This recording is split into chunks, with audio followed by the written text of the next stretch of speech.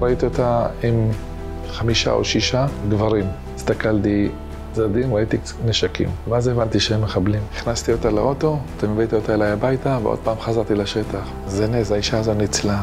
ניצלה. אני רוצה את הזכות הזאת. אני לא צריך את הזכות הזאת אף. לא עשיתי את זה בזכות. עשיתי כי הייתי צריך לעשות את זה.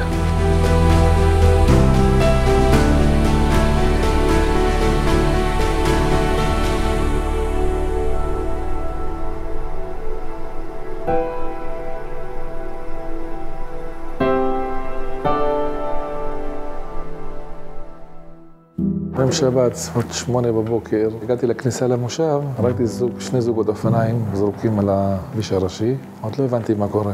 ואז התקשר אליי חבר, ביקש ממני לחלץ את הבן של החבר שלו, שנמצא באיזשהו פסטיבל, הבנתי שזה לא רחוק ממני. פניתי ימינה באחד השבילים, ראיתי נחיל של יציאת מצרים. יציאת מצרים של אנשים. הם היו כבר במנוסה, אבל הם לא ידעו לאן הם בורחים. ברחו לכל, לכיוון הוואדיות, לכיוון הפרדסים. נתתי להם איזשהו כיוון, נקודת ציון, אני אדאג שיחלקו לכם אנשים שם. וזה התחיל מטלפון לטלפון, מהודעה להודעה, המון חבר'ה מהמושב נרתמו, עלו על המכוניות טנדרים, ועשינו הובלות כמו חברת הסעות. במכה הראשונה הבאנו בין 600 ל-700, והם הגיעו לפטיש. יש פה מיליון, מיליון הודעות. מיליון בקשות, מיליון תחנונים של הורים. היא לבשה בגדים מסוימים שיצאה מהבית, צבע של אוטו, משקפי שמש, משקפי ראייה, רק לתת לי משהו להגיע אליהם.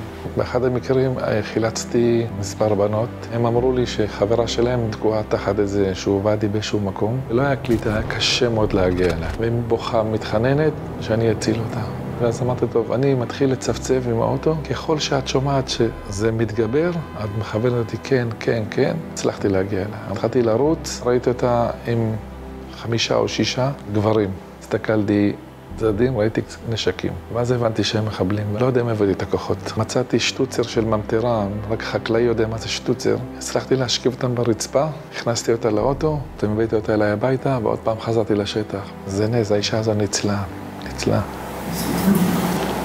אני רוצה את הזכות הזאת. אני לא צריך את הזכות הזאת אף פעם. לא עשיתי את זה בזכות. עשיתי כי הייתי צריך לעשות את זה. נכנסתי עמוק לתוך זה בלי לחשוב פעמיים. רק מי שמכיר את השטח יודע מה זה המערה הזו, מה זה הבור הזה. גם אם הייתי עיוור הייתי מגיע אליהם. אני נכנסתי לאיזושהי נישה שרק אחר כך צה"ל נכנס אליה. לבד נכנסתי למקומות שאני לא יודע אם היום הייתי נכנס אפילו. בלי נשק, בלי מיגון, בלי כלום. ראיתי מחבלים רצים, ראיתי, ברור. תוך כדי מנוסה שהיינו רצים, אז אתה מקבל עוד טלפון, ואז אתה מבין שזה בכלל לא בכיוון שלך, ואז אני צריך להגיד לחתן עם עוד חבר, תלכו לשם.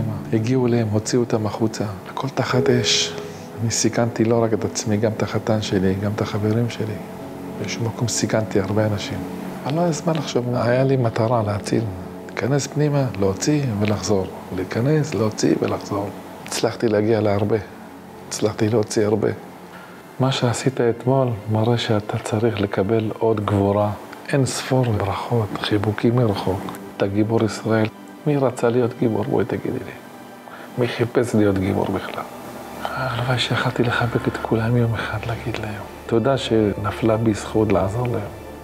אני חושב שכל יהודי שנמצא בסיטואציה כזו, הוא לא צריך לחשוב לו גם לא על החיים שלו. צריך קודם כל להציל. נפש יהודי הומייה, זה לא... ככה יהודי צריך להתנהג, לתת כל הזמן. אני רואה, אני רואה את כל עם ישראל מגיע בהמונה, דואג לחיילים. אין רפורמה, לא רפורמה, אתה לא שומע את זה בכלל. אתה שומע מה אתם צריכים. זה, זה מחזק, זה מנחם באיזשהו מקום. אנחנו ביחד פתאום, כן. אני מקווה שהאירוע הזה יאחד אותנו, ישכין שלום בינינו. זה הכוח שלנו, האחדות. אם אני קצת חיוך חוזר הנה החקלאות חזרה. חייבים להיות אופטימיים, חזקים. זו התקווה שלנו, המדינה הזאת, כמה שהיא קטנה. אנחנו גדלנו על התקווה הזאת. עוד לא עבדה תקוותנו. לאבד את התקווה הזו בכלל. אם נאבד את התקווה הזו, אז לא יהיה לנו מדינה.